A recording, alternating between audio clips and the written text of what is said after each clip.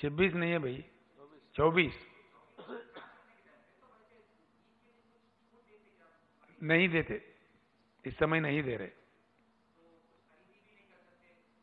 खरीदी तो बिल्कुल, गले तो मिलना नहीं चाहिए ना। शेक हैंड भी नहीं देना चाहिए, गले भी नहीं मिलना चाहिए। ईदगाह पे नहीं जाना चाहिए। तराबियाँ भी घर में पढ़ना चाहिए। मैं माफ़ी चाहता हूँ हमारे मुसलमान भाइयों से या किसी भाई से भी। No religious congregations are allowed. No political meetings are allowed. No rallies will be allowed. All that is banned by Government of India and that will continue in Telangana.